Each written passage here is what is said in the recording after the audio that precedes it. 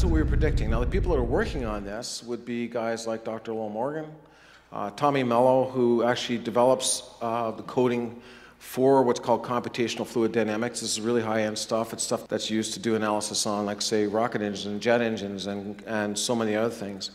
And um, we're very good at what we do. This is how we kind of make our living. However, you're going to find out that our predictions were wrong. So we did another model, which you're going to look at here, uh, right in this area here.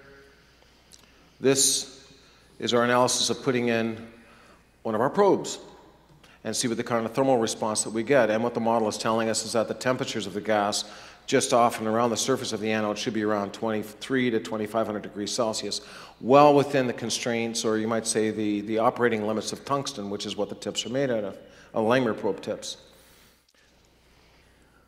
But what really happened, I'll show you here, what you're looking at here is the probe tip, and we're going to play this video, and this is a very low powered plasma.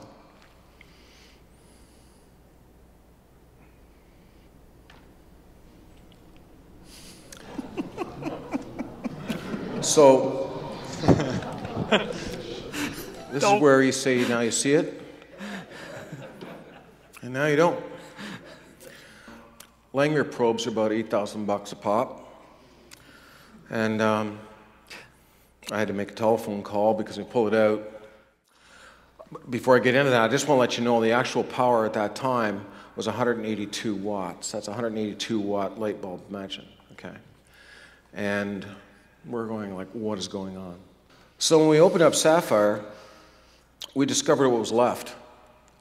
And this is what the tip looked like after it vaporized with, uh, this is just the residual tungsten you see here on that kind of nodule. That's what was left of it. And everyone knows anything about tungsten, it takes about 6,600 degrees Celsius to boil it.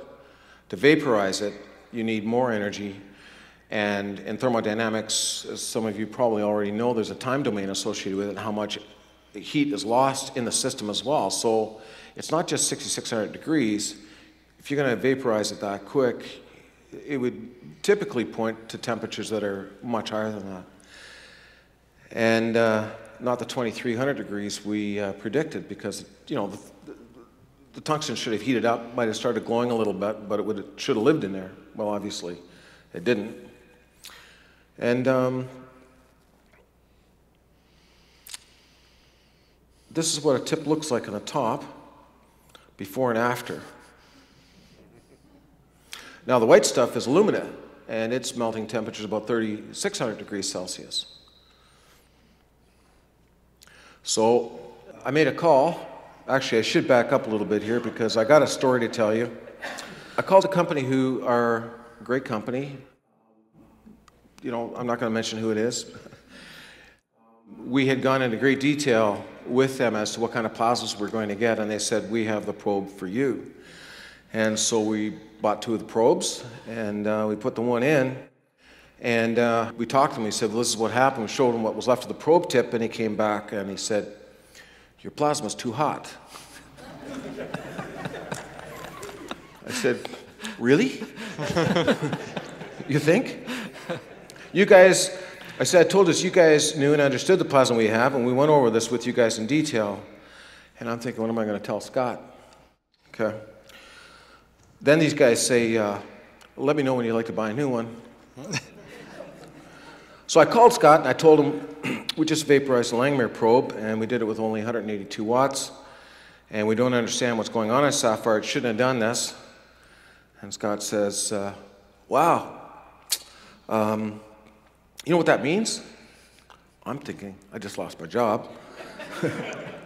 yeah, it means that uh, our thermodynamic uh, modeling is wrong. I'm thinking I'm out of a job. And uh, he says, Well, yes, uh, well, maybe. But what's amazing is it means that you have a lot of energy impinging on the probe tip. You might have an effective way of boiling water. And, at, and then he says, in his deep voice, Do it again. I'm thinking, so we're all gone nuts. The guy just said, My plasma's too hot. The boss is saying, Do it again. And I'm thinking, I'm going to have to spend another $8,000 on probes. These things, like 8,000, I said 8,000 bucks a pop, we got to get control over this thing because otherwise, uh, you know, we're going to burn through money pretty quick. So we decided to make a new one, bigger, stronger. I'll put higher pressure nitrogen into the core and cool the core and make it all out of a ceramic to withstand the temperatures. It's going to work. So that's it. That's the new and improved Langmuir probe, much bigger, thicker tip.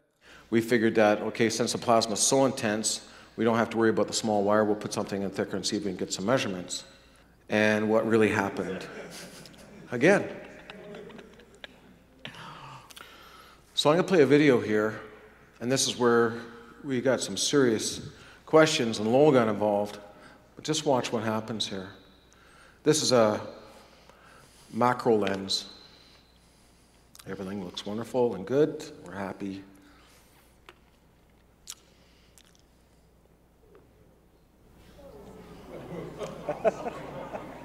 Adios.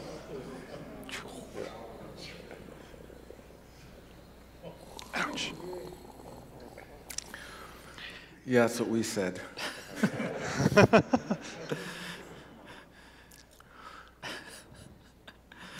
well, it lived so far.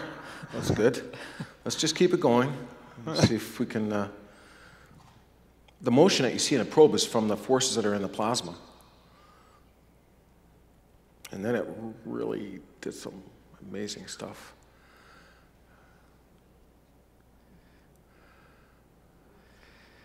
So we were happy. it actually survived. But the thermionic emissions, as we're going to get into, that's what you call thermionic emissions. That's not, you might say, the plasma. The plasma's gone out by now. So this is just a radiation. This is a, like when you light up a tungsten light bulb, this is what you get. So the, the radiation here just grows immensely. We don't know right now why the color changes. We know that we're obviously we're getting other emissions in here, probably from the tungsten. And this is happening in like nanoseconds. So we go from this beautiful uh, violet color to these colors. We don't know what this stuff is that's flying around in there. We think it could be copper and or iron or whatever. Uh, we were able to capture some of these images, but we would have to say that the atmosphere in SAFIRE is somewhat um, hostile. and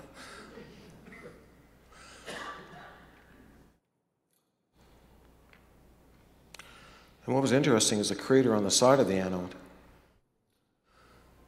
So we decided, well, you know what, let's take a closer look at this thing because we were still getting information back from the tip, which is good, which is good news. And so this is what tungsten looks like after it's been machined with diamonds. Okay, it has a kind of a sintered look to it, powdery look. And this is what the tip looked like after we pulled it out of the chamber. So we've seen some cracking with the alumina a little bit. We weren't too concerned. The bright blue color was kind of interesting. But we looked at a closer look at the tip and we see the grinding marks from the diamond wheel. We didn't see any physical deterioration of the tip, and that was just great news for us. And we thought, okay, we've got something that looks like it's going to survive. And we took a look at the alumina and it looks like it was starting to melt. So we knew that the temperature was around 3,600 degrees, maybe a little hotter, but still in good shape. And then what I did is I just took my pliers and we changed the probe up. We just retained it, put my pliers in to pull it out, and it crumbled. And if you know anything about tungsten, it doesn't normally just crumble. And I thought, well, we, you know, we've got a bit of a problem here. So I put it under the microscope and I looked at it and I said, gee, that doesn't look like tungsten.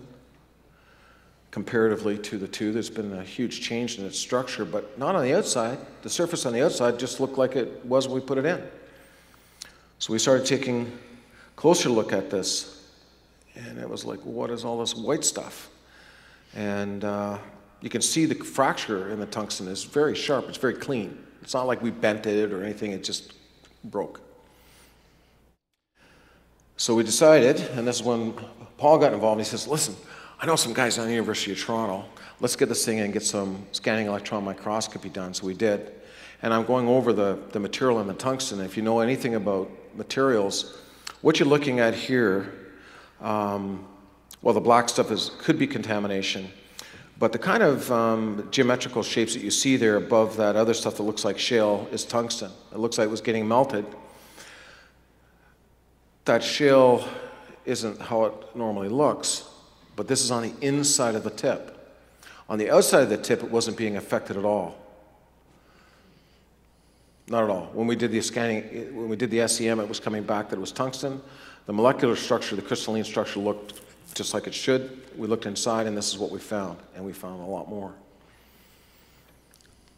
So we took a look at the anode, that big crater that was left on the side. It was some interesting stuff. It was kind of like, okay, it was an intense plasma discharge, kind of steel material. So we thought, okay, this is kind of like, you know, it's really cool artwork. we didn't see anything that was kind of, you know, too outrageous. We saw this area here, and I thought, well, let's take a closer look. I don't know why, I just picked a spot. And I thought, what the heck is that nodule in the center of the top of that mountain that's in the crater here? And this is what the scanning electron microscopy showed up. Now, if you know anything about this, when you have really bright spots in SEM, it usually means you have really heavy materials in there, heavy elements. And they start to uh, emit.